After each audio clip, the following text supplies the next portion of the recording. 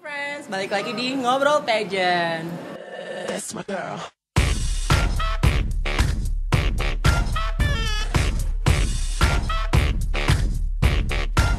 Yeah, who's been working so damn hard? You got that head on overload. Got yourself this flawless body aching out from head to toe. Ain't fair. Untuk kali ini bersama gue Brian Abigail dan kita ada tamu Mas Martin yang udah kita sering undang ya Mas Martin ya. Apa kabar Mas Martin? Kabar baik. Oke, untuk kali ini kita akan ngebahas 5 mega favorite Miss Universe 2018 yang udah IP Friends pilih dari As IP Friends minggu lalu. Kita punya siapa aja? Let's check this out.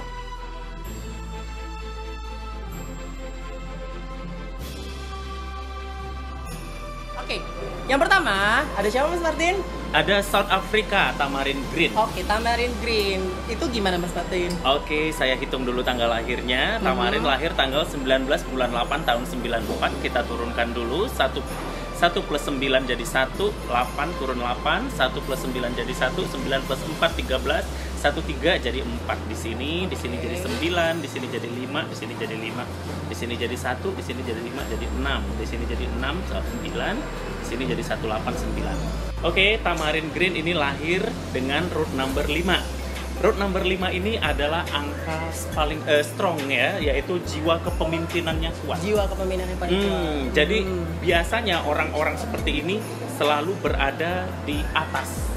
Oke. Mereka eh, dalam apa pun, entah itu dalam jabatan, entah itu dalam kerjaan, mereka selalu posisinya itu ada di atas. Mhm. Termasuk juga di kompetisi, mereka juga bisa di atas. Itu untuk uh, South Africa nomor 5 ya, root numbernya nomor Iya, 5. iya unsur Jiwa tanah. kepim- Pe- pe- jiwa kepemimpinan. Jadi orang seperti ini punya insting yang sangat kuat ya. Oke. Kemudian mereka ini juga eh, leadership, leadershipnya itu tinggi sekali. Jiwa leadership tinggi sekali. Jadi kalau di kompetisi bagus, mereka biasanya ada di papan atas. Jadi wajar lah ya kalau dia ini dijago-jagoin sama PL-PL di dunia gitu ya. Oh sangat wajar sekali kalau melihat angkanya ini ya sangat strong ya untuk di- berada di papan atas ini sangat strong sekali. Memang bagus, memang wajar sekali kalau angka seperti ini berada di situ. Kalau untuk posis uh, positifnya nih, positif dari angka 5 ini untuk Tamarin Green itu gimana? kalau angka 5 ini ya positifnya itu dia punya insting atau naluri yang kuat. Naluri yang- Eh, jadi ketika mereka melakukan sesuatu, mereka itu mengandalkan feeling. Hmm. Mereka mengandalkan feeling dan biasanya feeling mereka nggak salah.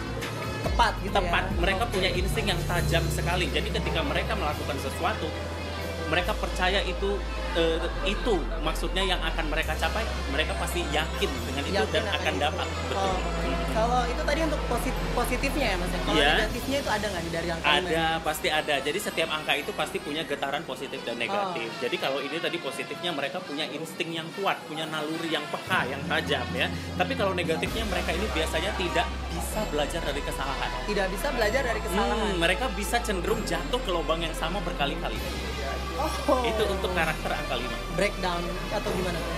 Eh, bukan breakdown ya. Jadi maksudnya mereka itu nggak tahu kapok gitu loh. Oh, nggak tahu oke. kapok jadi bisa jatuh ke lubang yang sama berkali-kali nggak bisa belajar dari kesalahan gitu loh nggak ambil hikmah dari kesalahan Tidak bisa mengambil hikmah dari Betul, kesalahan yang udah-udah ya. betul. Itu negatifnya. Mm-mm. Nah, kalau untuk Tamarin Green, peruntungannya di Miss Universe 2018 bagaimana, Mas? kalau ngelihat dari seluruh eh, cat asalnya untuk orang yang punya angka 5 ini Mhm. tadi saya katakan angka 5 ini adalah angka yang eh, bersifat pemimpin, Pemimpin, ya ya. memimpin mereka bisa berada di papan atas gitu ya Mhm. jadi untuk orang yang dengan karakter angka seperti ini wajar kalau dia difavoritkan banyak orang untuk berada di posisi puncak Oke. Ah, ah, jadi wajar kalau entah dia menang, entah dia masuk top 3, top 5 atau apa. Pokoknya orang-orang seperti ini biasanya berada di papan atas. Oh, jadi dia di peruntungan di Miss Universe ini bisa jadi gitu. Peluang besar Peluangnya sekali. besar, Hmm, ya. besar sekali untuk berada di papan atas. Oke. Mm-mm. Jadi kemudian saya akan coba juga hitung untuk peruntungan dia di tahun 2018. Kalau kita lihat, kita turunkan tanggalnya 19 bulan 8 ya. Kita lihat peruntungan dia di tahun 2018. Hmm. Heeh. Kemudian 2, 9, di sini 2, 2. 4, 2, sini 6, sini 4, sini 2, di sini 1, 8. Kalau kita lihat sih peruntungan untuk 2018 eh, tidak ada kaitan dengan kompetisi ya. Kalau Life ini eh, apa maksudnya kehidupan dia di 2018 tidak ada sesuatu yang menggambarkan kejayaan atau apa untuk 2018 nggak kelihatan. Tapi kalau dari chart asalnya ini sudah cukup strong sekali. Sudah cukup strong ya. strong sekali. Betul betul betul. Jadi eh, nggak heran sih kalau orang seperti ini difavoritkan banyak orang untuk berada di posisi puncak. Karena memang dia punya kekuatan untuk berada di atas. Jadi she deserves it ya untuk Betul. berada di jajaran-jajaran teratas Miss Universe. betul sekali. Jadi lagi-lagi ini uh, South Africa ini bisa kemungkinan besar mempunyai kesempatan di berada di top-top tertentu di Miss Universe. Iya, kalau juara, kalau dia misalnya juara, saya juga nggak heran gitu Nggak loh, karena heran, memang ya. ada di papan atas. Kalau mungkin cuma top 3, top 5, atau mungkin cuma top 10, karena kan kita juga nggak tahu pe- pesaingnya dia eh, semuanya itu angkanya kan kita nggak hitung, kita cuma hitung lima orang ini, dan salah satunya South Africa ini kalau saya lihat kansnya besar sekali untuk berada di atas. Oke, itu tadi kita habis membahas South Africa, Tamarin Green.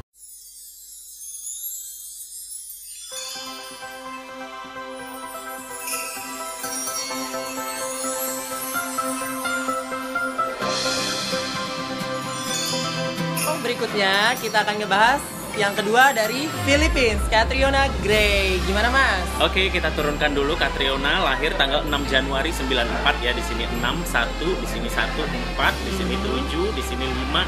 Di 7 tambah 5 jadi 12, 1 2 jadi 3. Di sini 8, di sini 1 9. Di sini 6 9, di sini 7 tambah 6 13 4 8 ya. Oke, Katriona angka 3. Angka akar 3 unsurnya api. Wow, apa tuh maksudnya Mas? angka agresif, angka cepat, angka kompetitif, dan angka yang selalu eh, tidak mau kalah gitu ya dari Ambisius. orang. Bet- eh, bukan Oh, ambisius, ambisius bukan. bukan ambisius. Sebenarnya angka tiga ini sangat kompetitif. Ketika mereka menginginkan sesuatu, mereka harus mencapainya, harus sampai dapat begitu. Oke, jadi dia apa yang dia mau dia harus sampai di situ gitu Betul, ya. harus capai Oh, sampai oke. dapat gitu ya. Eh, itu untuk dia Katriona ini dan kompetitif. Jadi orang-orang seperti ini memang cocok ya untuk ikut kompetisi-kompetisi. Impian dia untuk menang itu besar. Itu positifnya tadi ya. Berarti dia Hmm. apa tuh positifnya? Positifnya ya itu dia tidak apa ti- orangnya sangat gigih. Gigi. Ah, ah, gigih. Jadi gigih untuk mengejar impian dia dia harus dapat. Hmm. Harus sampai dapat. Apa yang dia inginkan dia harus raih sampai dapat. Itu positifnya orang akar-akar tiga ini sangat gigih sekali. Kalau untuk negatifnya ada nggak mas? Kan kalau dia untuk gigih banget tuh. Ah, ah, kalau untuk negatifnya biasanya angka tiga ini ya karena dia jiwanya kompetitif Hmm. mereka suka persaingan dan mereka itu otomatis dari dalam diri mereka mereka mau untuk jadi yang nomor satu Hmm. mereka nggak suka jadi nomor dua jadi nomor tiga maunya nomor satu nggak mau kalah gitu loh nah negatifnya ketika mereka kalah mereka ketika mereka tidak mencapai apa yang mereka impikan biasanya mereka akan memandang negatif kepada yang mengalahkan mereka itu Oh, jadi kalau dia tidak mendapatkan apa yang mereka mau gitu ya, Hmm. mereka akan memandang negatif memandang negatif apa pun betul itu. betul Oh, oke. iya akan memandang negatif kepada apa yang membuat mereka kalah Apa yang membuat mereka kalah? betul Uh, uh, jadi kalau di panggung ya di kompetisi ini sangat bagus sekali karena tiga itu angka panggung Hmm. angka panggung angka lomba angka kompetisi biasanya orang-orang kayak gini biasanya kalau memang ikut lomba bisa selalu menang sering menang Agresif nggak? Oh sangat, Sangat sangat, agresif. agresif. ya sangat agresif, sangat mau cepat gitu ya. Uh, dan angka tiga ini biasanya memang dari looknya memang cantik.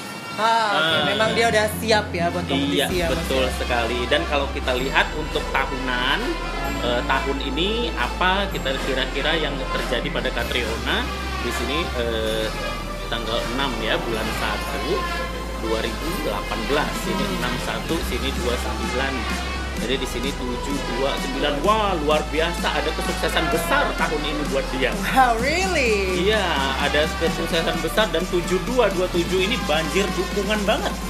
Oh gitu. Oh, luar biasa. Kita bisa lihat ya dari Miss Universe kemarin pas dia baru datang udah disambut banget sama pageant lovers di Thailand dan memangnya Wow. udah ditunggu-tunggu banget ya. Luar biasa tahun ini kesuksesan besar. Kesuksesan besar, tapi saya juga nggak bisa menakar apakah dia akan dapat crown, apa pencapaian sampai berapa. Tapi dia punya kesuksesan besar tahun ini dan kesuksesannya itu akibat dari banyak sekali dukung, Dukungan, support. 72 support. ini support. 72 ini support dari berbagai kalangan dan dia tahun ini lelapnya bagus sekali. Hmm. Kalau untuk chance-nya kesempatannya Kalau- bisa ditaker kah? kalau ditakar sih nggak bisa dia juara juara berapa Aha. karena kita juga perlu lihat gitu kalau tiba-tiba ini kan kita kan bahas lima orang saja Oh iya, betul. nah kalau tiba-tiba yang jadi juara satunya dari negara yang antah berantah lah kita bilangnya kita nggak hitung tanggal lahirnya juga nggak tahu Oh, jadi- nah tapi kalau dari personal personalnya dia udah bagus memang punya jiwa kompetisi Jadi kalau dilihat dari sini peruntungannya kesempatannya besar. Cuma lagi-lagi kita akan ngebahas cuma lima kontestan Hmm, aja. hanya lima kontestan. Kalau ternyata yang menang, yang ternyata yang place dari negara-negara yang kita tidak bahas, bukan berarti ya meleset atau apa karena kita kan yang cuma bahas cuma lima ya, bukan Betul. 95 orang. Jadi kalau dari eh, Katrio, kalau si sebelumnya tadi South Africa si Oke. Tamarin, dia kuat di karakter asal, tapi Hmm. tahunannya biasa-biasa aja gitu loh. Tapi kalau si Katriona ini karakter asalnya udah kuat, udah strong, memang udah jiwa kompetisi gitu loh. Dan tahun ini dia diuntungkan dengan, dengan punya support. kesuksesan besar dan support yang sangat banyak sekali. Oh. Dari berbagai kalangan banyak sekali supportnya dan dia ada kesuksesan besar. 9 itu sukses. 9 angka sukses. Mm-mm, dan dia tahun 2018 mendapatkan satu kesuksesan besar. Uh, Oke mas, uh, Katrina Gray ini kan digandang-gandangkan seluruh PL di dunia kan Kayaknya menarik banget nih, nggak pernah meleset dari top 5 dari mega favorite mana pun kayaknya ya Mhm. Uh, Ada nggak sih yang menarik dari Katrina Gray ini? Apa sih yang menarik sampai dia digandang-gandang di berbagai macam edisi? Eh, kalau lihat angkanya ini seperti yang saya katakan tadi angka tiga itu ya memang mereka dari fisik mereka Ah. memang sangat cantik. Oke. tiga itu adalah kelahiran yang baru hasil dari satu tambah dua jadi wajah baru. Tiga itu adalah wajah baru jadi mereka ini sangat cantik. Biasanya di usia muda ya mereka biasanya cakep-cakep. Nah Katriona ini kalau saya mau tambahkan lagi angka tiganya berasal dari 75 Apa tuh? 7 tambah 5 jadi 75 ini 7 adalah pendukung. Hmm, 5 tadi saya bilang adalah orang-orang yang papan atas Oke. jadi pendukung papan atas. Jadi orang yang punya angka 3 dari angka 75 ini biasanya mereka sangat selektif milih teman. selektif milik teman. Hmm, dan biasanya mereka hanya mau berteman dengan orang yang kalangan-kalangan atas atau teman-teman yang high class atau Ah. teman-teman yang kaya gitu loh. Mereka sangat Oke. pilih-pilih teman. Pilih-pilih teman ya. Betul. Akar 3 seperti ini mereka sangat pilih teman. Ada lagi nggak yang negatif-negatifnya atau positif-positif yang lainnya mas? Iya, ah, mau dibilang ya, oke di sini dia ada 48. 48 Apa itu tuh? angka kegagalan. Oh. 48 itu angka kegagalan. Jadi 48 dia ada di luar 48-nya. Kalau orang yang punya 48 di luar, kegagalannya itu bisa kelihatan sama orang lain dan biasanya dia akan selalu diingat oleh orang tentang kegagalannya itu. Nah, misalnya ketika kita ngomongin Katriona, oh orang akan pikir, oh dia kan gagal di Miss World. Oh, dia kan Oh. pernah ini, pernah itu ya. Remarkable ah, gitu ya. Iya, jadi eh, eh, dia selalu diingat orang dengan kegagalan-kegagalannya. Angka 48 ini kalau ada di luar. Jadi yang menarik itu tadi yang pertama dia mau berteman dengan yang high class aja, pilih-pilih teman dan yang kedua adalah angka-angka kegagalan. Iya. Wow. Mm-mm. Kemudian ada angka 538 kalau Menarik lima- lagi itu mas. Eh, ini lebih menarik Oke, lagi. apa tuh? 538 ini eh, sebenarnya kalau dalam ilmu numerologi yang saya pelajari, Hmm. ketika dua angka digabung berakhir menjadi 5, berakhir menjadi tiga, Aha. berakhir menjadi 8, itu semua adalah cerita yang nggak bagus. Cerita yang negatif. Oh. yang berakhir jadi 5, 3, 8 nggak bagus. Dan ketika kamu temukan dalam satu chat ada orang yang memiliki 538 sekaligus, Aha. ini nggak bagus. Nggak bagus. Orang yang punya angka 538, ini dia bisa jadi seperti kayak serigala berbulu domba. Dia bisa kelihatan manis di depan, tapi di belakangnya dia menyimpan satu kebusukan. Jadi eh, angka-angka yang nggak bagus ini bisa dalam hal apa pun ya. Iya, dalam Apa pun. hal apa pun, dalam kehidupan. Jadi bukan hanya di pageant ya, Oke. dalam kehidupan dia sehari-hari ya. Orang yang punya 538 itu mereka ada sesuatu yang disimpan gitu loh. Eh, Uh. tapi di luarnya mereka menutupi, di luarnya mereka look nice gitu loh, terlihat Oke. bagus. Tapi sebetulnya ada yang disembunyikan dan itu nggak bagus. Jadi makanya 538 ini kalau dalam ilmu numerologi yang saya pelajari ini disebut angka serigala berbulu domba. Serigala berbulu domba. Hmm. Apa tuh? Jadi tapi kayaknya ini sekian ya untuk Philippines ya. Atau ada lagi nggak mas yang menarik mas? Eh, kalau yang berkaitan dengan pageant, saya rasa cukup ya. Hmm. Jiwa kompetitifnya kuat dari eh, cat asalnya kuat, dari tahunannya juga hokinya bagus. Oke. Ya, ka- eh, semoga para fansnya tidak kecewa lah. Semoga Katriona juga bisa meraih prestasi yang bagus. Atau dia juga punya banyak ini. dukungan yang bagus betul, ya mas ya. betul, betul, betul. Tetap semua orang itu ada positif, ada negatif. Ada positif, ada negatif. Mm-mm. Oke, that's all for Philippines. Next,